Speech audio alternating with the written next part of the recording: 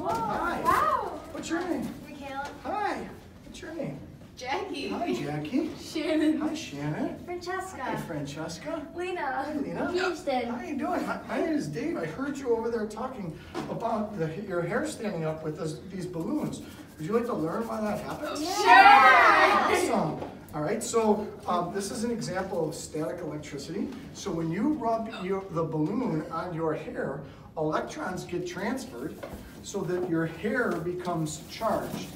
And if all of your hairs are charged the same uh, sign, either positive or negative, they each little individual hair wants to get as far apart from each other as possible.